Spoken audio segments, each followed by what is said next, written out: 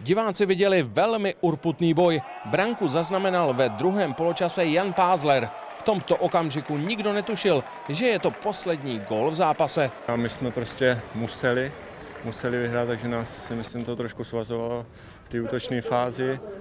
Ale jak jsem říkal, to je cenější, že jsme to vybojovali.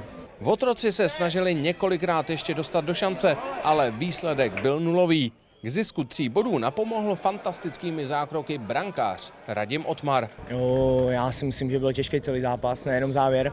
Frídek Místek je v tabulce druhé nejvyšší soutěže poslední. V Hradci však hosté předvedli velmi slušný výkon.